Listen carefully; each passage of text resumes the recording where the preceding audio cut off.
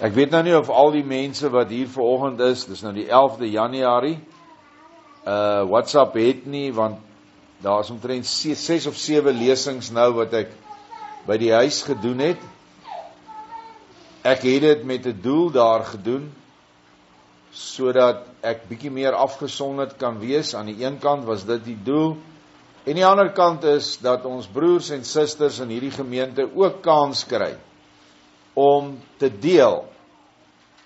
Want as dit nou as Yeshua nooit sy apostels opgelei het nie, dan sou hulle ook nie kon uitgaan om die mense te bewerk nie. Hulle het gegaan die evangelie versprei. Hulle het genesings gedoen, hulle het wonderwerke gedoen.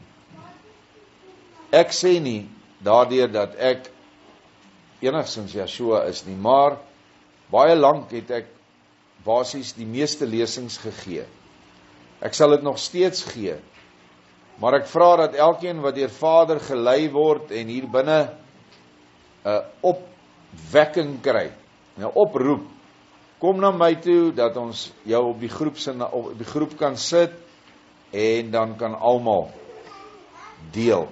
Want dit is die doel van vars broodjie en dan veral van die Gilgal klipwiel.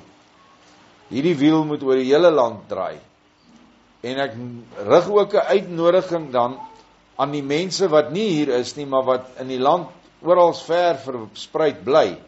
Jy kan by jou huis, voor jou rekenaar, voor jou lesenaar kan jy 'n lesing doen as Vader iets op jou hart sit.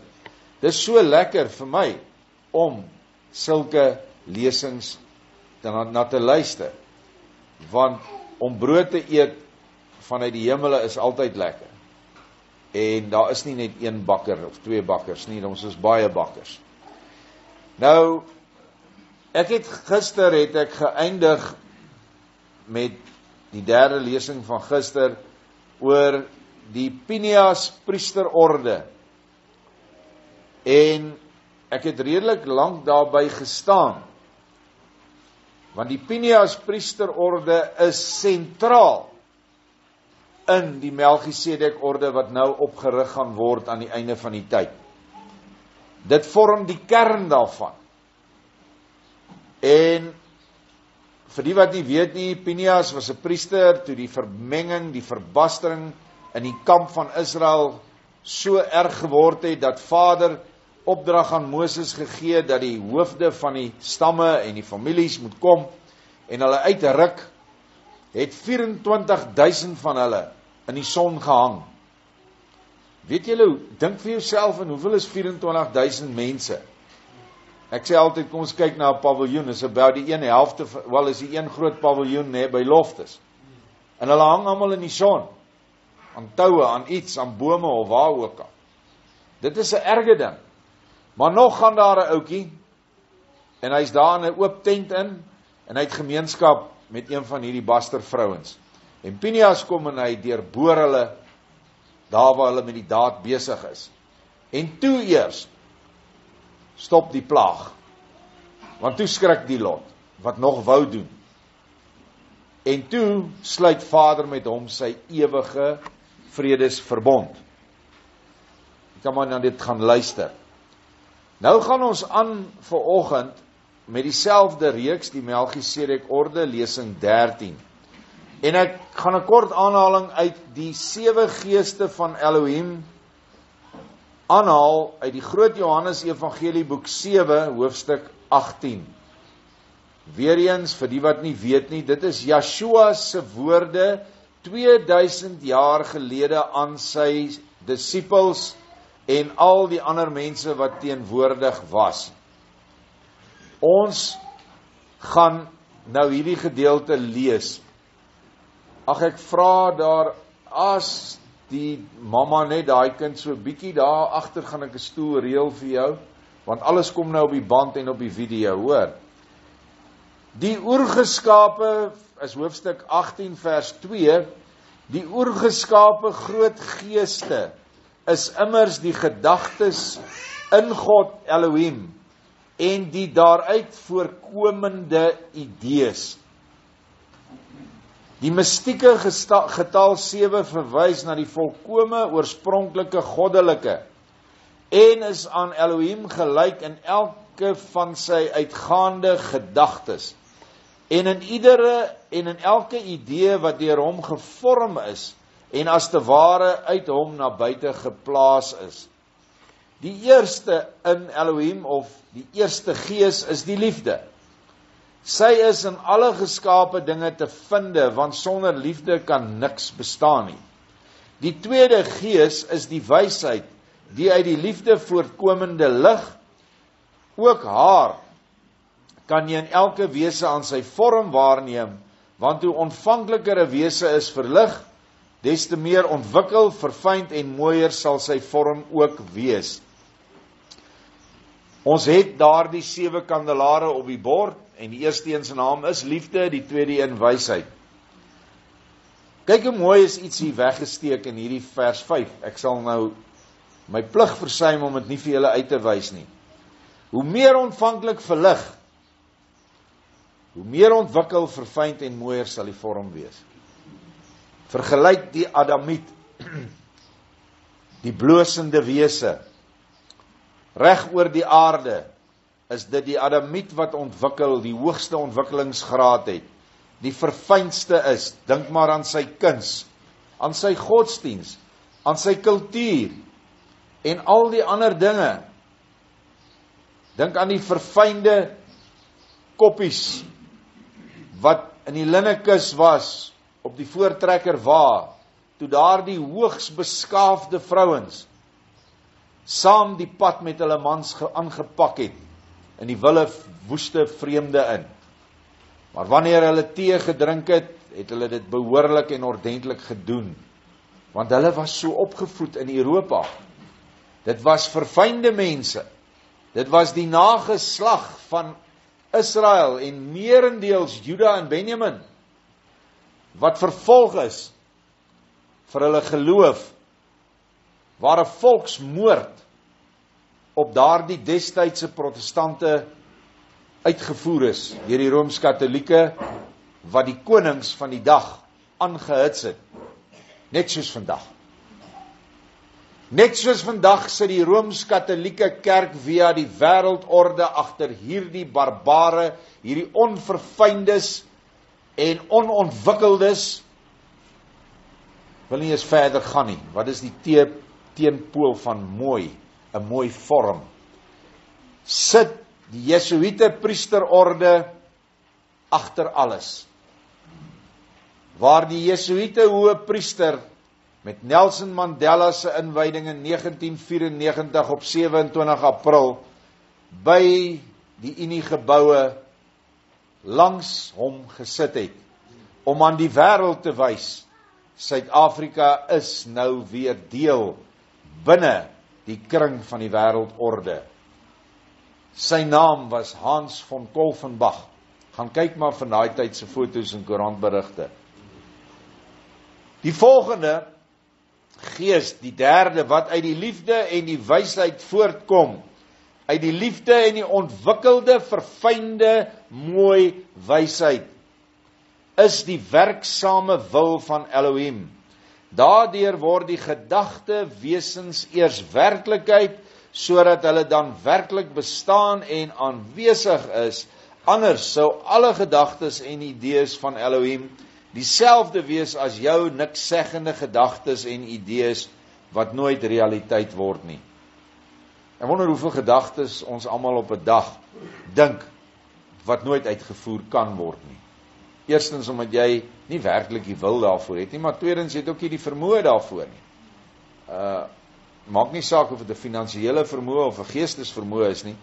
Ons dink 'n klomp nonsens uit, meeste van die tyd.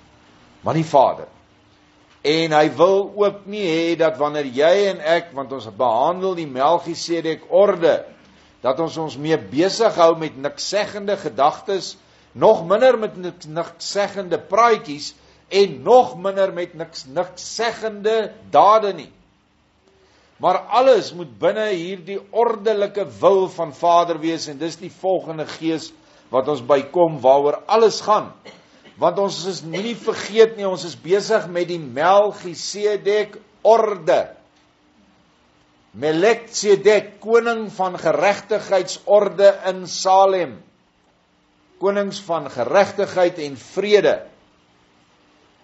Daarom is hierdie vierde gees die middelste gees, die orde, die stander waarop al die kandelare aangebind is. Wie Yeshua voorstel met ons trooster moeder gees. Dit is die middelstander. Dit is die voetstuk. Dit is die fondament. Dit is die rots waarop alles staan. En dit is die orde gees wat ons werklik in onsself moet laat ontwikkel. Dit is nie iets wat sommer aan jou gegee word nie, jy moet dit beoefen. Vers 7: Die vierde wat weer uit hierdie 3 ontstaan is en heet die orde. Sonder hierdie orde sou 'n wese nooit 'n blywende en vaste vorm en dus ook nooit 'n bepaalde doel gehad het nie. Want as jy 'n os voor die ploeg span en sy vorm en gedaante sou verander, byvoorbeeld in 'n vis of 'n voël, sou jy dan wel ooit 'n doel daarmee kan bereik. Daarom is daar ordelike ordelikheid in die skepping. Rooi bokke by rooi bokke, bruin mossies by bruin mossies, bont mossies by bont mossies. Al leef hulle vir 6000 jaar saam, bly hulle in die orde want die orde is deel van hulle innerlike, noem dit maar instink. Hy is so geskape. Maar ons die geskape na die skapene na die beeld van Elohim wat aangestel is oor die diereryk, die planteryk en die minerale ryk, ons vrye wil moet daardie orde handhaaf. Ons gaan aan. Of as jy 'n vrug sou wil eet wat voor jou mond in 'n klip sou verander, wat sou jy dan aan die vrug hê?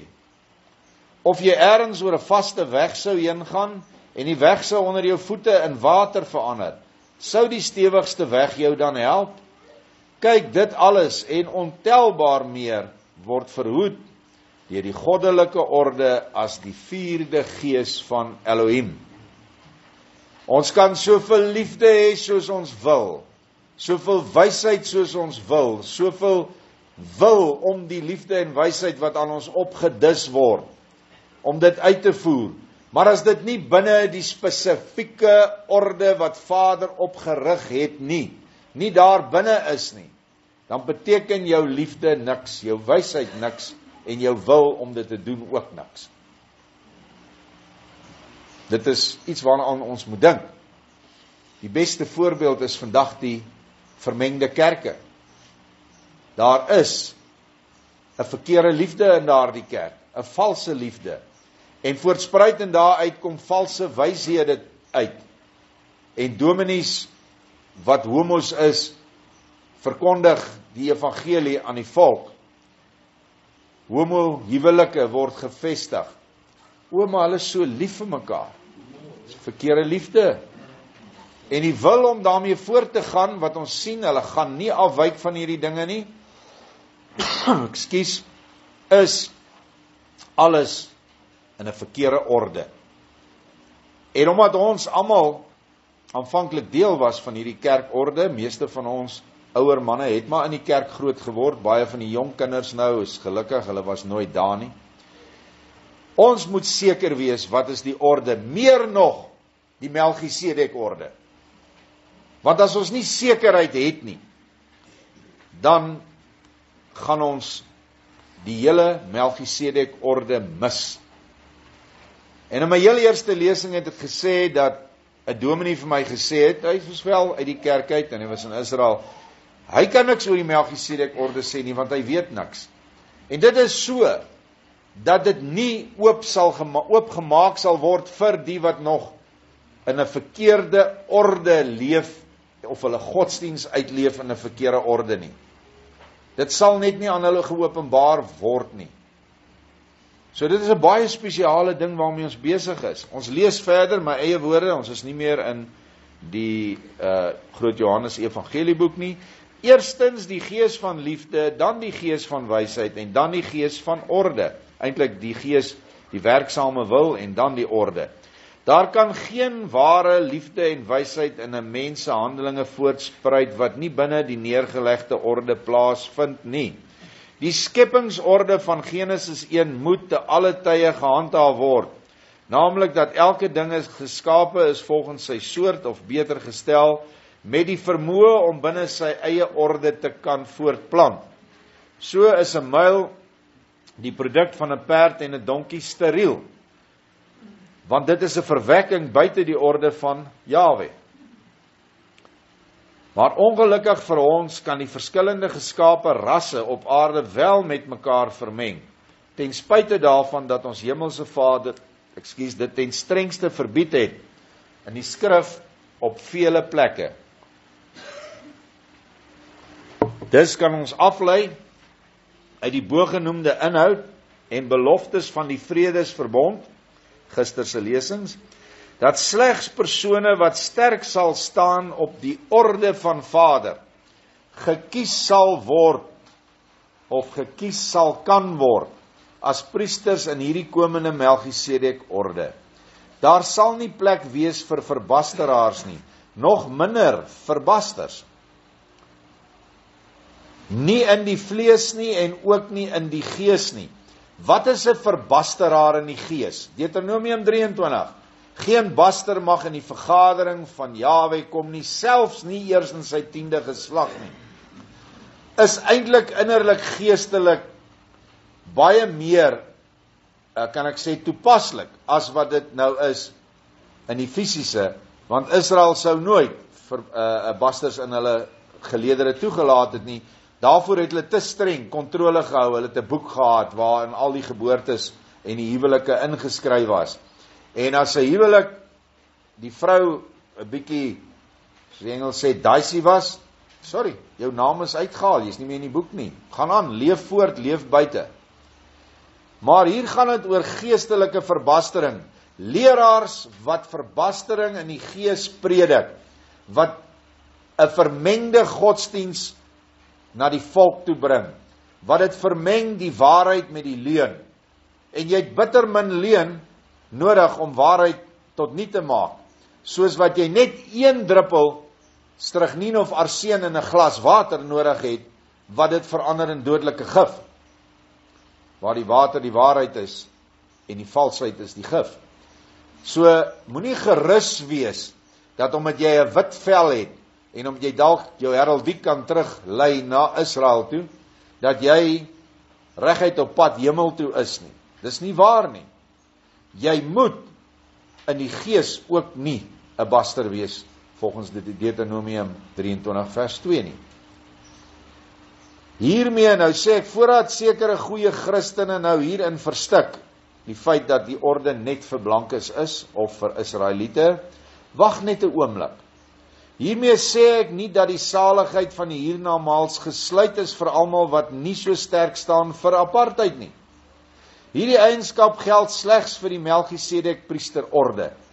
Vader het met Pinias en sy nageslag die ewige vredesverbond gesluit. Nie met die ander nie.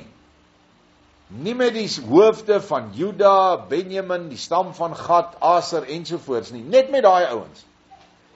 En ons sal hulle nou aan die einde van die tyd in die Melchisedek orde kan identifiseer dat hulle almal ewe sterk staan vir hierdie beginsel, vir orde. Dit is hoe jy hulle gaan identifiseer. Hierdie is 'n orde van konings en priesters en hulle sal saam met Yeshua, Jahwe Shua in liefde regeer oor sy hele aardse skepping en daarna oor sy hele hemelse skepping naamlik die ganse heelal wat bewoon is wat nie leeg geskape is nie. Hy het nie geskep om planete en sonne en maane ensovoorts om dit leeg te hê nie. Orals is geesteswesens semi-gees vleeswesens en vleeswesens teenwoordig. Gaan lees die nuwe openbaring. Dit sal vanuit die nuwe stad Jerusalem plaasvind wat nou besig is om na die aarde neer te daal in die harte van die Melchisedek orde. Eerstens Maar dit is mos logies dat as daar konings en priesters gaan wees, moet daar ook onderdane wees. So sal hierdie orde dus oor Israeliete en heidene regeer, soos wat Sagaria 14 dit duidelik stel dat die Egiptenaar wat nie die hittefees wil hou nie, nie reën sal kry nie. Die algemene Israel denke is dat daar net Israeliete gaan bestaan. Dit is nie heeltemal so nie. Daar gaan 'n tyd wees waar hierdie Egiptenare sekere gebooie sal moet nakom. Kom ons lees dit net. Ek het dit ingesit hier sodat ons dit net kan lees Sagaria 14:16 en almal wat oorbly uit al die nasies wat teen Jerusalem aangekom het sal jaar na jaar optrek om neer te val voor koning Jawe van die skepingsleermag en om die fees van die takskuilings te vier. Dit is my baie interessant dat dit net daai fees is wat hulle moet kom vier. Ek sien nie die ander feeste soos byvoorbeeld die belangrike eerste fees die Pasga nie. Of dit dan nou heenwys na die na die hemelse toestand of die duisendjarige vrederyk. Ek dink nie so nie want sover ons dit het, gaan net 144000 oor na die ander kant toe. En wie uit die stamme van die aarde nie na Jerusalem optrek om voor my meester Jawe van die skepingsleermagte neer te buig nie, hulle sal geen reën kry nie. Let wel, hierdie is nie die Jerusalem tempel wat nou deur Benihim en Netanyahu gebou word in Jerusalem nie. Hierdie is die lewende Jerusalem leer. Die Jerusalem wat opgerig gaan word in die harte van sy bruid. Wat dieselfde is om te sê die oprigting van die Melchisedek orde. Want die Melchisedek orde en die bruid is presies een en dieselfde. En as die familie van Egipte nie optrek en nie kom nie, op wie geen reën sal val nie, dan sal tog die plaag hulle tref waarmee Jawe die nasies tref wat nie opgaan om die fees van die takskuilings te vier nie. Dit sal die straf van Egipte wees en die straf van al die nasies wat nie optrek om die fees van die takskuilings te vier nie. In die dag wanneer hierdie ouens moet kom om die fees te vier, sal op die klokke van die pere staan apartheid aan Jawe. En die potte in die huis van Jawe sal wees soos die sprinkelflesse voor die altaar. En dis presies hoe dit in Hebreë staan. Nie heiligheid aan Jawe nie, apartheid aan Jawe. Ha Godes Jawe. Dis hoe hy staan in die Hebreëus. En Godes het geen ander betekenis nie. Ja, vers 21. Al die potte in Jerusalem en Juda sal apartheid aan Jawe van die skepingsleermag wees. En almal wat wil slag sal kom en daarvan neem en daarin gaar maak. En in die dag sal geen Kanaaniet in die huis van Jawe meer wees nie. Heidiglik is die huis van Jawe vervuil met die Kanaaniete. Hulle lyk soos ons, hulle praat soos ons, maar binne in hulle brand 'n verbasteringsvuur. 'n Vuur om alles te vermeng, 'n vuur om hulle geloof binne die goedkeuring van die wêreld te bedryf. Nou hierdie potte in Jerusalem is die houers van die evangelie wat ek en jy is. En hy sê al die potte sal apartheid aan Jawe wees want al die potte sal binne die orde wees watter orde die Melchisedek orde. So daar sal nie houers wees wat nie gaan glo aan die orde van soort by soort nie of die orde van die suiwer gees van waarheid leerstellings nie. Dis wat hier staan. Sal die ander nasies dan enigstens anders kan leef? Nee. Want Vader sê aan Daniël, nee, hy het nie nie aan Daniël gesê nie. Hy het dit aan Judith gesê in haar eerste profesie.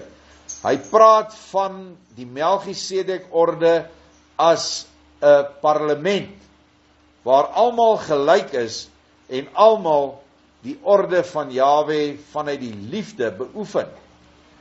So dan sal alle ander volke ook binne daardie orde moet wees. So ook die gaste wat die bruilof sal waarneem, maar wat nie deel van die bruid wil wees nie.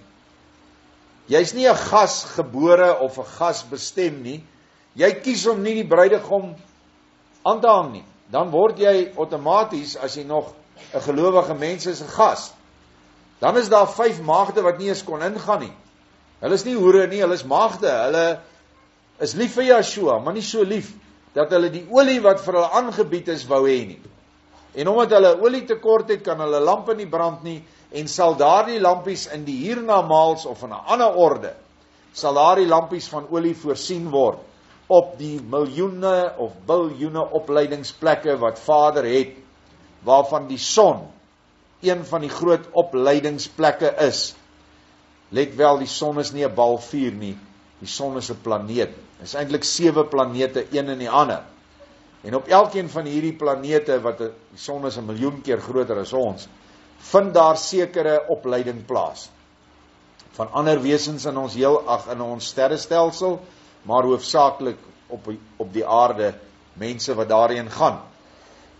En die goed wat hulle nou verwerp, sal hulle daar leer.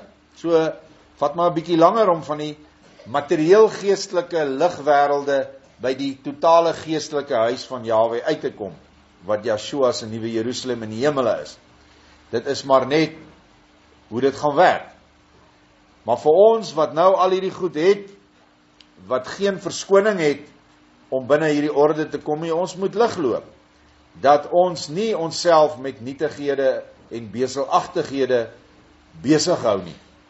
'n Pragtige bevestiging van die beloftes van ons in die Melchisedek orde vind ons in Jesaja 54:1.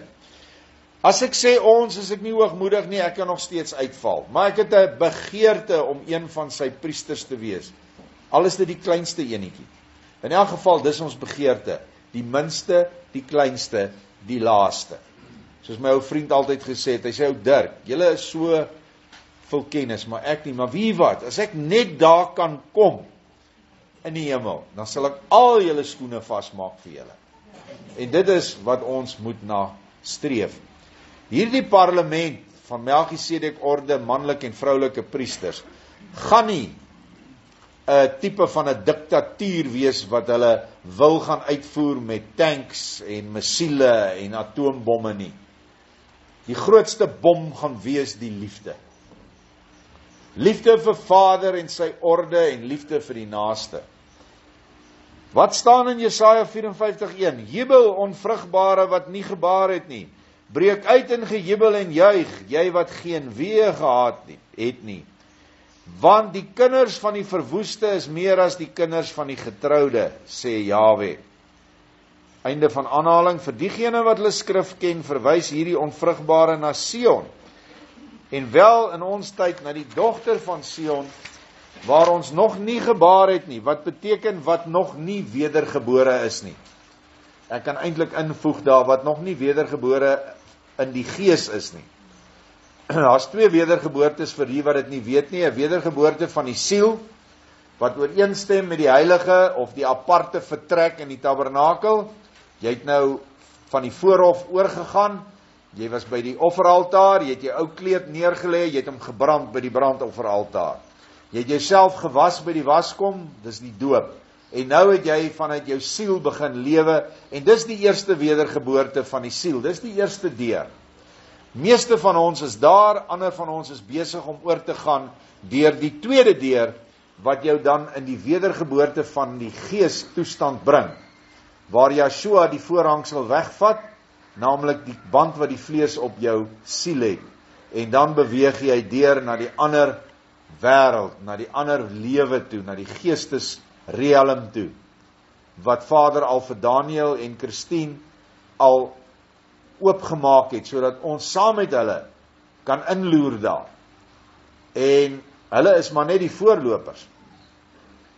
Hy sê want wedergeboorte word altyd voorgestel deur die geboorte van 'n seentjie Vergelyk Jesaja 66, die seentjie volk en Openbaring 12, die vrou bekleed met die son en die maan en die sterre en wat gereed staan om te baar, maar Satan, die duiwel staan ook gereed om haar te verslind en dan gee sy geboorte aan 'n seentjie wat die wedergeboorte is. Ons het dit in vorige lesings behandel. Jesaja het baie oor hierdie Melchisedek verbond, is net weggesteek. Soos in die dae van Noag is dit vir my. Dis Jesaja 54:9. Soos ek gesweer het dat die waters van Noag nie meer oor die aarde sou gaan nie, so het ek gesweer dat ek nie op jou toornig sal wees nie. Op wie? op die getroude, op die dogter van Sion. Weereens einde van aanhaling, soos wat die hele aarde verbaster het en in afgoderry verval het in Noag se tyd, soos dit nou ook in ons tyd. Gaan lees maar in die boek Henog en in die boek Opregte van die groot skaalse verbastering op alle vlakke. Menslike rasse en diere en voëls en visse het die mens mee gemeenskap gehad. Dis waar al die ou geskiedenis of die mitologie vandaan kom. Julle het mos al gesien 'n perd of 'n os met 'n mens se kop en 'n meermin en al die goed. Uh dit was alles in daardie tyd moontlik voor die vloed. Want berge vers 10 van Jesaja 54 mag wyk en heuwels wankel maar my medelee sal nie van jou wyk en my vredesverbond nie wankel nie sê Jawe die vredesverbond van Pinias hierdie vredesverbond wat met Pinias en sy nageslag gesluit is is ewig en sal nie wankel nie nie eers as die Messias kom nie inteendeel Jawe Shua het dit bevestig soos hierbo getoon in Johannes 14 vers 27 In die vorige lesing sal julle dit kry as julle dit nou gaan luister as dit nog nie geluister is nie. In kort staan daar my vrede gee ek julle, nie die vrede van die wêreld nie. Daar kan nie 'n ander vrede wees as 'n vrede wat kontraktueel deur Vader en Pinias gesluit is nie. Skus, ek's jammer, maar dan is die Bybel staan dan op losse skroewe en hy kan nie. Ons moet op die rots staan. En is die rots wat hierdie kontrak gesluit het. Jy ellendige vers 11 deur storm gejaagde ongetrooste. Kyk ek lê jou stene in suurklei en ek grondves jou in safiere. Hy praat met die dogter van Sion die getroude.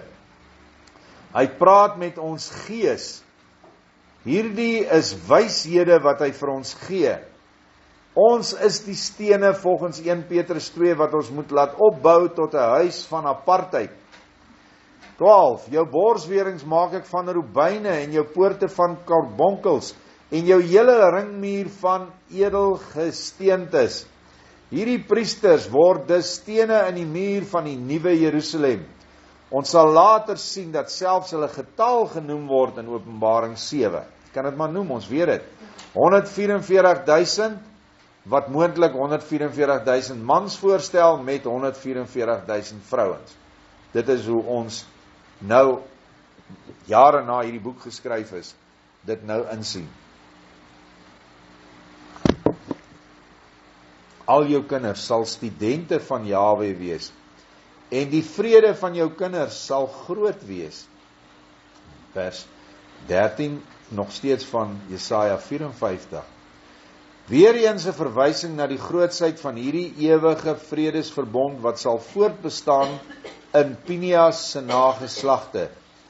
Deur geregtigheid sal jy bevestig word vers 14. Wees ver van verdrukking, want jy hoef nie bevrees te wees nie en ver van verskrikking want sy sal nie by jou kom nie. Einde van die vers aanhaling. Die Melchisedek priesterskap is 'n priesterskap van geregtigheid want Melchisedek beteken Melek koning en Sedek geregtigheid. Dis konings van geregtigheid. Op 'n ander plek in Hebreërs sê hy ook konings van vrede. En hier het hy nou net gepraat in vers 10 van my vredesverbond. My Salem verbond. En dit is waar Melchisedek vanuit geheers het uit die kasteel Salem. Vers 15 As hulle oor die ook die aanval begin, Dit is nie uit my nie en wie jou aanval sal oor jou val. Vers 16: Kyk, ek het die smid geskape wat die koolvuur aanblaas en 'n wapen voortbring volgens sy ambag. Ook het ek die verderwer geskape om te verniel. Elke wapen wat teen jou gesmee word, sal niks uitrig nie. Elke tong wat teen jou opstaan in die reg, sal jy weer lê. Jy is die erfdeel van die knegte van Jawe en hulle geregtigheid wat uit my is, spreek Jawe. Wonderlik. Nê, nee, omdat ons Yeshua gekies het, het ons sy erfdeel deelagtig geword. En nou rig hy sy Melchisedek orde in ons harte op. En so word ons Melchisedek priesters. Floors Melchisedek, Johan Melchisedek en so ook vir die vrouens Karen Melchisedek ensovoorts. Dit is hoe dit gaan werk. Dit is hoe hierdie parlement in aanhalingstekens gaan werk aan die einde van die tyd. Wanneer Oomsiener sê ons sit om die tafel en Duitsland sit bo aan die tafel en die boervolk aan sy regterkant. Engeland is nie daar nie, Japan is nie daar nie. Ek weet nie van die ander Europese nasies nie. Amerika is klein, onbeduidend sit heel aan die onderkant van die tafel. En ek sê nou vir julle en ek hoop deur al hierdie al hierdie lesings, ons is nou by lesing 13, moes daar al 'n lig opgegaan het oor die Duitsers wat aan die hoof van die tafel sit. Want niemand kan aan die hoof van die tafel sit as Yeshua vanuit die stam van Juda nie. Want hy is nou die ewige Melchisedek priester. En ons weet dat Juda aan die eindtyd Daar's lesings daaroor gegee is die stam van Juda binne die huis van Juda en die boervolk is die stam van Benjamin binne die huis van Juda. Dit is die twee en ek wil dit net regstel toe nie het my nou die dag gehelp wat nie 'n skeybrief gekry het nie maar wat wel weggestuur is. Maar hulle het na 70 jaar het Vader hulle teruggebring en het hulle die tempel weer herbou. En Yeshua kom, hy rig sy verbond op met Juda en Benjamin. En hy het dit bevestig ook in vorige lesings met die traktaat van oom Siener wat hy die traktaat laat teken het tussen die generaals van die boerevolk en die Duitse konsul konsul en dat dit gesluit is met die destydse regering van Duitsland. Met die derde ryk. Ek laat dit daar. Dink maar daaroor. Vader sal inligting gee. Die priesters van hierdie orde ontvang die erfdeel van Jawe omdat hulle die geregtigheid vanaf ja, vanuit Jawe in hulle binneste in hulle harte dra. Die volgende bevestiging bevestiging van ons meester Jahweshua as hoof van hierdie Melchisedek vredesorde vind ons in die profesie in weer eens Jesaja 9 vers 2 vers 6 en vers 7. Die volk wat in die duisternis wandel het die groot lig gesien. Die wat woon in die aarde van doodskade weer oor hulle het die lig geskyn. Voor ek vers 6 lees, hierdie geskrif het ek opgestel voor ons herberg toe is. Ek dink in 2007. Daar baie dinge gebeur tussen 2007 en 2017. 10 jaar het verbygegaan. En hier het Vader 'n groot lig opgerig, die Gilgal klipwiel. En ek is doodseker dat dit verwys na hierdie groot lig wat nou opgerig is en die volk het hierdie lig begin sien. Ons sien dit met ons geestesoog. Baie mense het Vader hulle fisiese oë geopen vir die lig. En dit is 'n vorm van 'n geweldige groot tornado of orkaan wat lig uitstraal in die hoogste ruimtes in en ook wie se wortels afgaan tot in 'n plek wat ek gister beskryf het waar wel mense woon die wat in die doderyk is en ook ander wat in 'n plek was waar Abraham vir Lazarus aan sy boesem gekoester het en waar daar werklik lig en water was. En die lig het oor ons geskyn. En die lig is niemand anderste as ons moeder trooster nie. Dit is die lig van die Gees wat ons nou al baie lesings gehad het. Let wel vers 6 want 'n kind is vir ons gebore, 'n seun is aan ons gegee. Dit het direk verwysing op Yeshua. Maar dit gaan weer in vervulling soos wat dit met die bruidegom in vervulling gaan in hierdie vers, so gaan dit weer 'n keer aan die einde in vervulling in die bruidseentjie. Dit is weer eens die kind wat gebore word, die wedergeboorte van die Melchisedek orde van die bruid se gees. Dit is die kind. En dit is niemand anders as Yeshua nie. Dit is niemand anders as klein baba Melchisedek wat uit die dooie siele voortkom. Dit is wat gebeur. Jy's dood totdat jy lewend gemaak word in jou siel, die vrou. En hierdie lewende vrou dan bring vir Melchisedek voor soos wat hy voorgegaan het.